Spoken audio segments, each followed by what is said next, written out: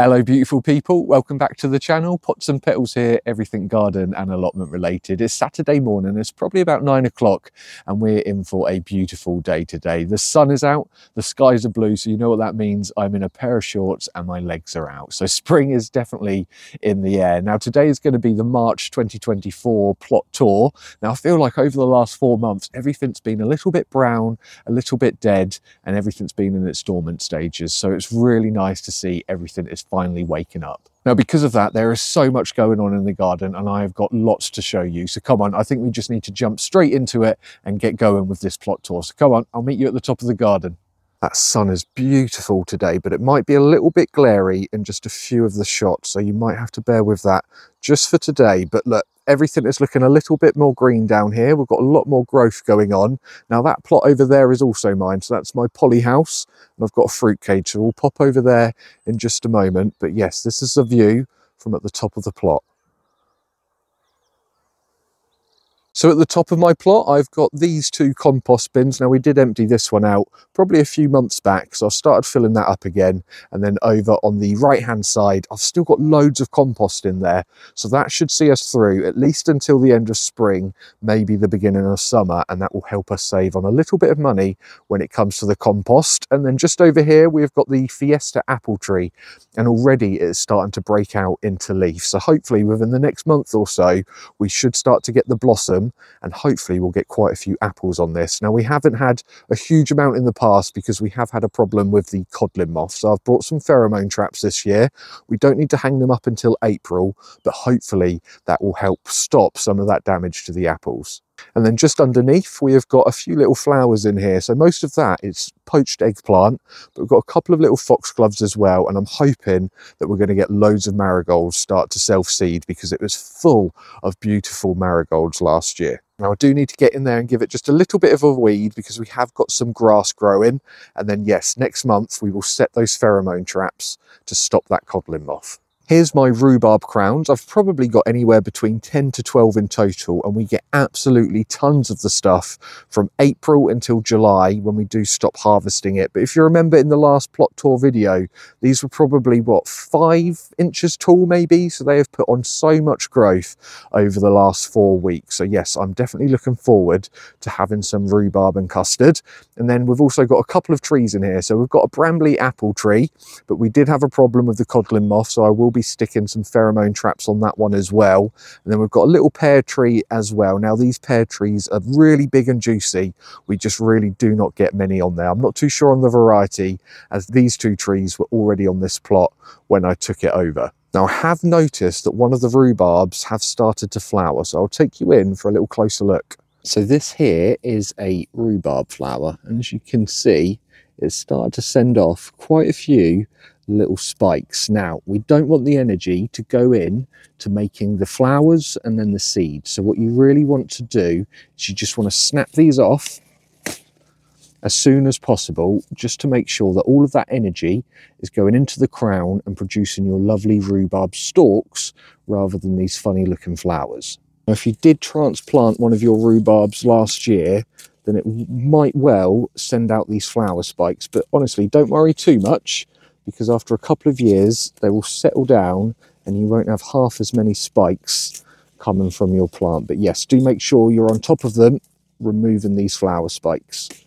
So if you remember, in previous videos, I had one, two, three beds of onions in here, but for some reason, they all seem to have disappeared. They came up in October, November beautifully, but yeah, I don't know where they've gone to. So I really must try and plant out some more onion sets over the next couple of weeks. But down here, we have got one, two, three rows of garlic, and they've done absolutely wonderfully.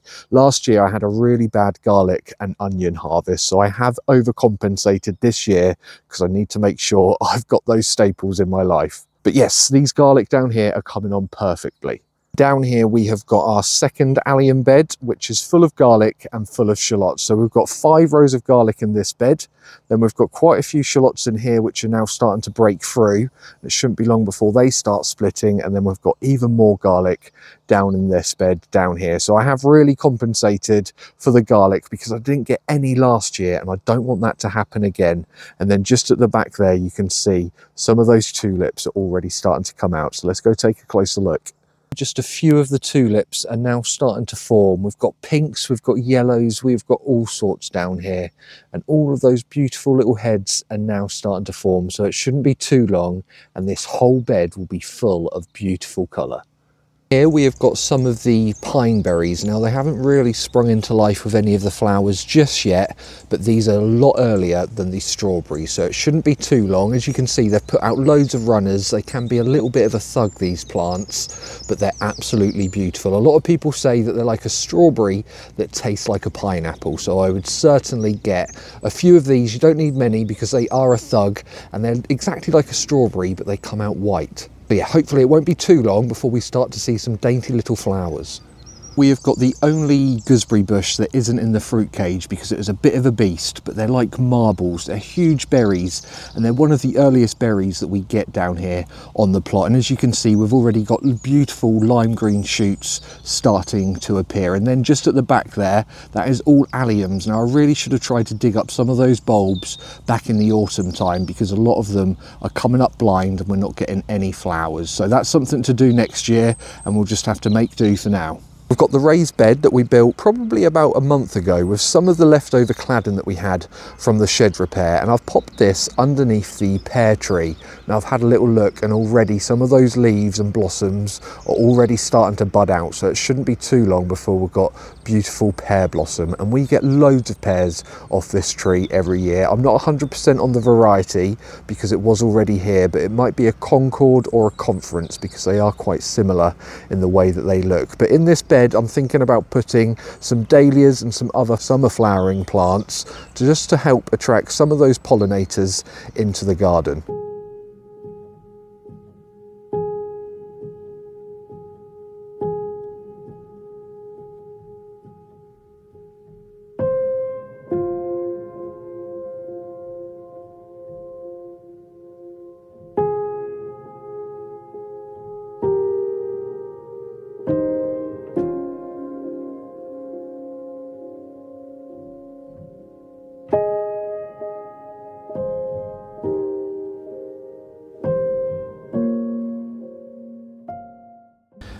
Down underneath the pear tree here I've got one of my smaller ponds. I've got three in total but this did need a little bit of a clear out and I think I've left it a little bit too late. So we haven't got any frog spawn in here but I will show you some of the frog spawn that we've got in the other two ponds a little bit later on.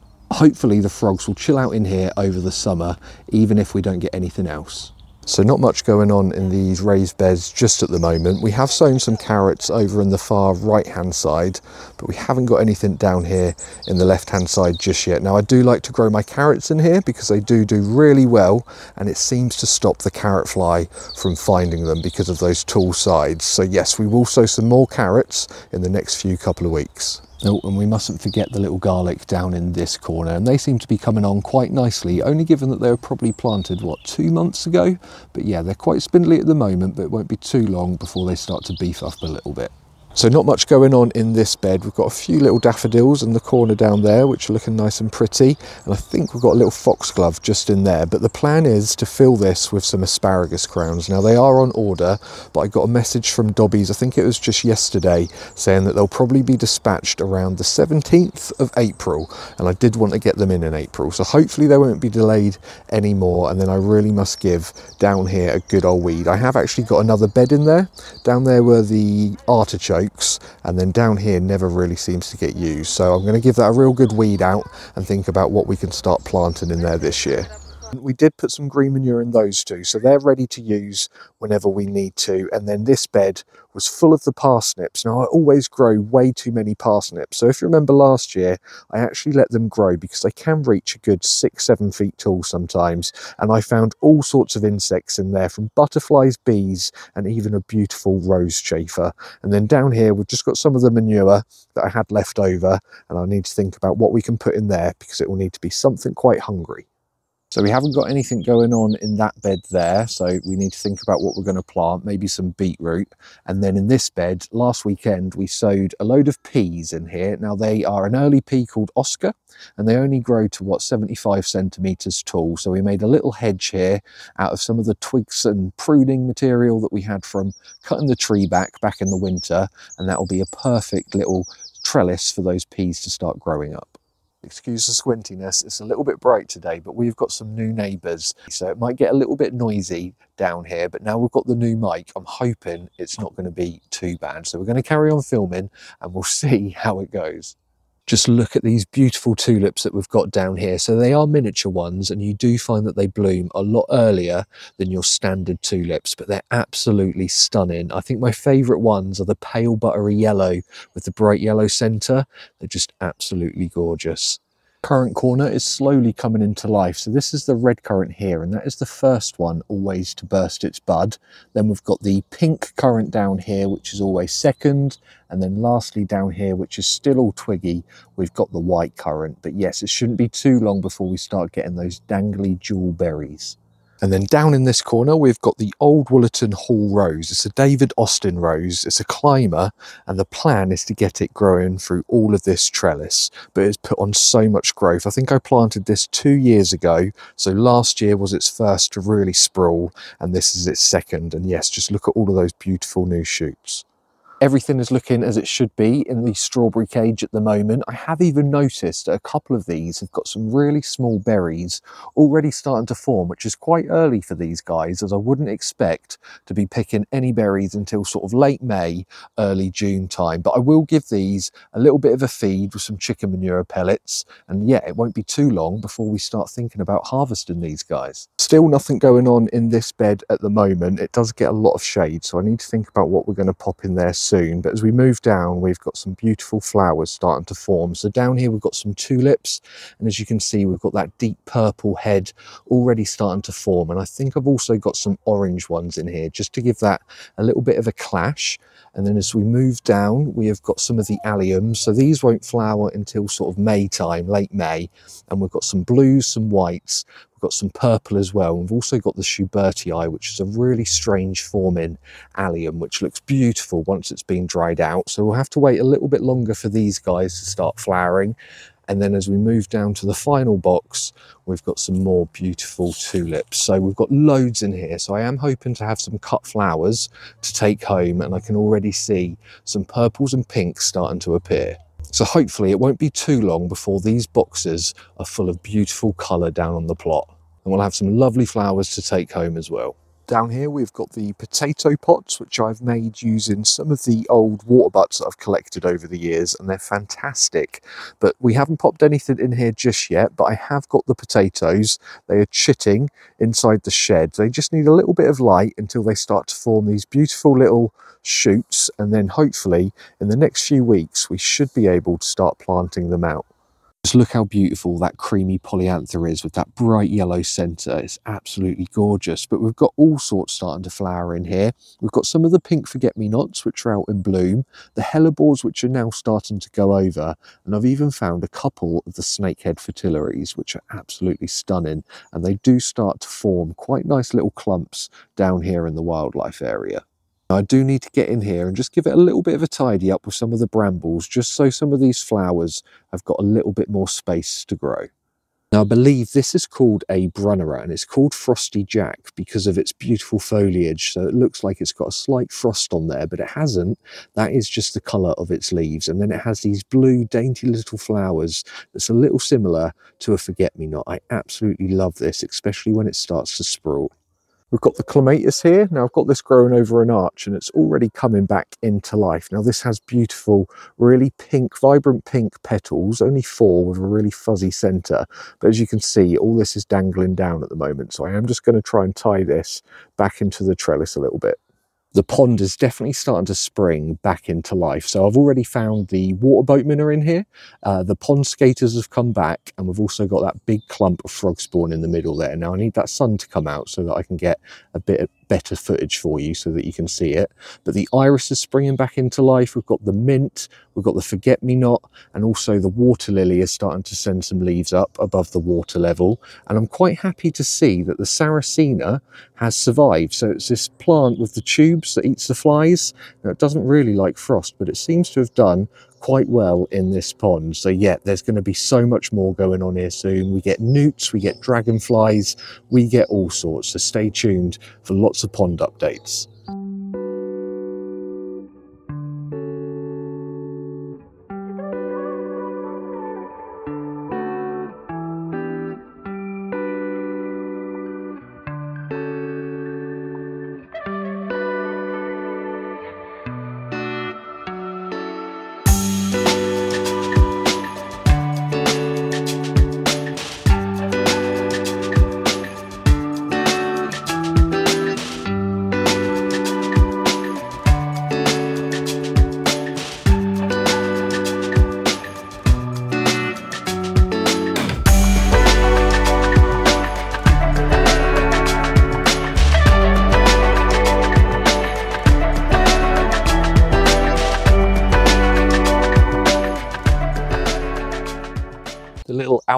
Planter that we built with the barbecue is all looking quite nice, bearing in mind that it's just sat here over winter.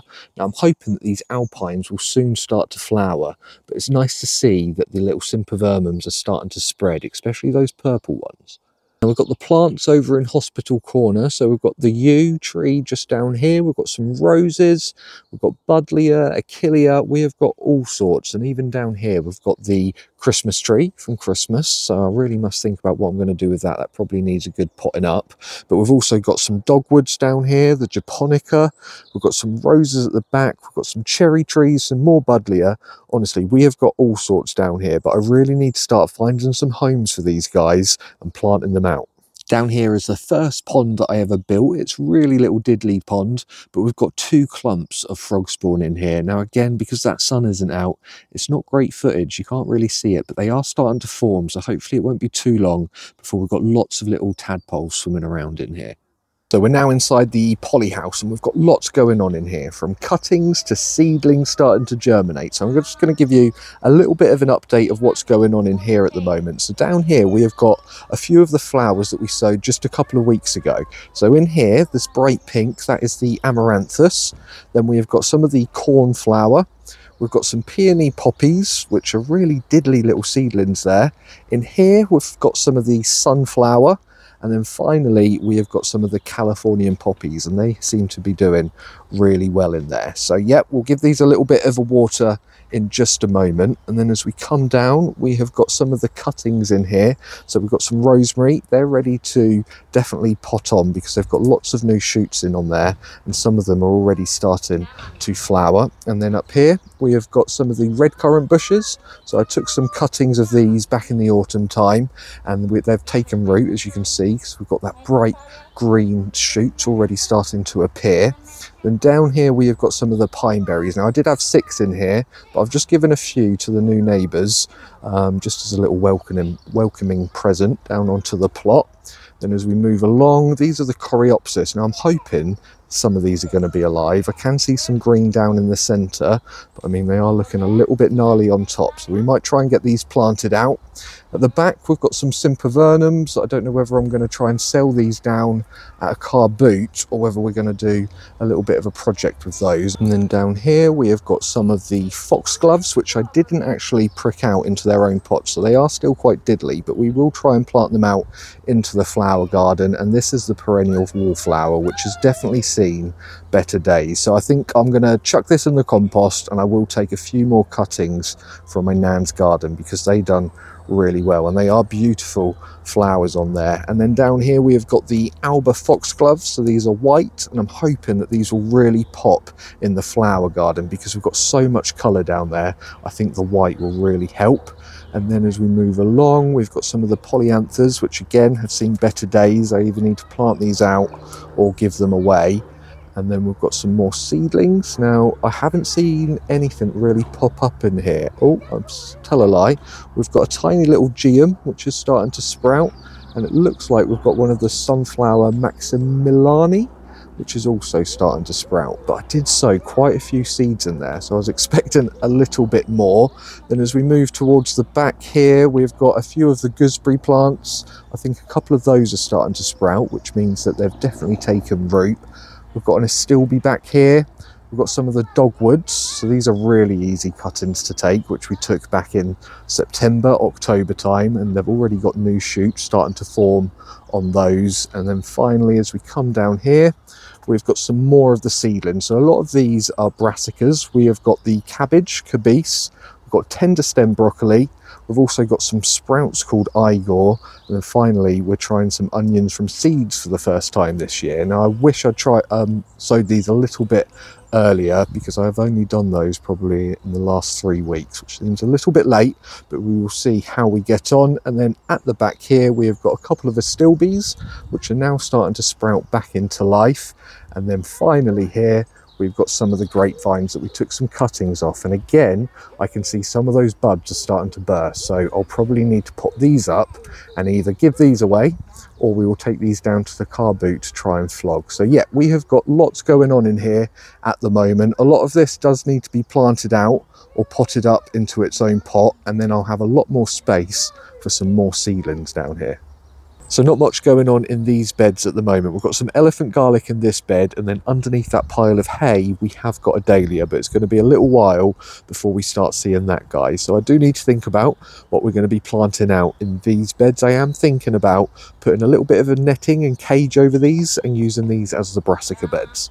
Not a huge amount going on in these beds at the moment. Now we did have some broad beans in this far bed over there, but I think that the slugs and the snails and also some of the frosts really attacked them and it didn't like it too much. So they have started to die back. So we'll have to think about sowing some more of those. In this bed, we've got the uh, runner beans. So if you leave the roots in there, sometimes they will sprout back because they are a perennial plant. But we did have quite a hard frost this year, but we'll see if they do come back this year. And then finally, we've got the bed at the back here. Now I do want to grow some sunflowers in there. But if you remember last weekend, somebody gave us three grapevines down here. So we've planted them up in the hope that they'll uh, climb quite nicely over that fruit cage. And then finally, just at the back, we've got a couple of the raised beds, couple of kale in one of them that, that really need to come out. But I'm thinking some beetroot and also some potatoes in the far left-hand side raised bed because that's a brand new bed that we only made, what, a couple of months back? So yeah, there's still plenty of work to do down in this corner.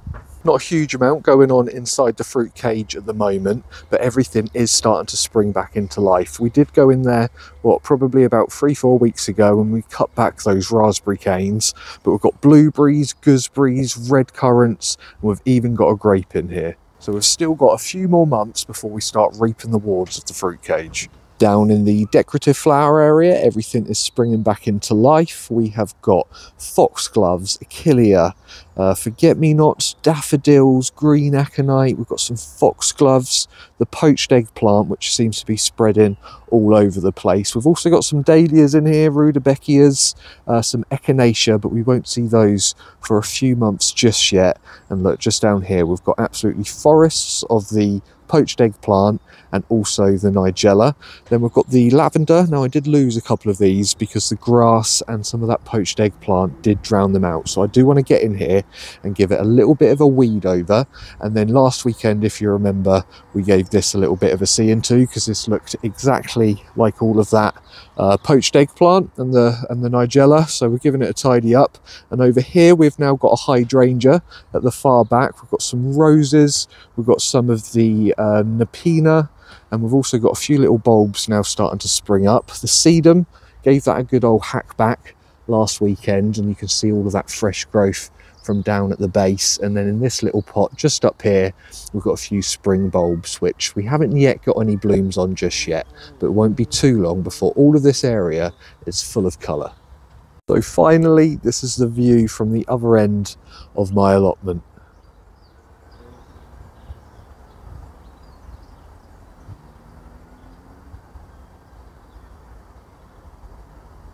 So that is all we've got time for today, folks. That was the March 2024 plot tour. Now, I did have a couple of technical difficulties in this film. So one, I've got two mics, and the problem is if you leave it open, the other mic is also picking up the sound. And I did leave it open, and now that I've got new neighbours, it was picking up quite a bit of what they were saying. So I have had to reshoot a couple of the videos where it was really bad. So apologies. Hopefully next video, the audio will be a lot better. And then also I brought a gimbal and I didn't realize how much battery it would need. So that ran out halfway through. So apologies if you noticed that it was lovely smooth filming and then suddenly it went a little bit shaky. So hopefully next time round we will be a little bit better because it's all a little bit of a learning curve at the moment. Now, I'm not too sure when you're going to see this video because I've got my little sister down from Manchester for the weekend. So we're going to be going out and about and doing some little bits and pieces over the next few days. So hopefully you'll see this at some point during the week. But don't worry, guys. Hopefully next weekend will be a beautiful one and I will be back down here on the plot with another little adventure. I hope you have a lovely week ahead of you and I'll see you all very soon. So take care, guys. I'll see you later. Bye-bye.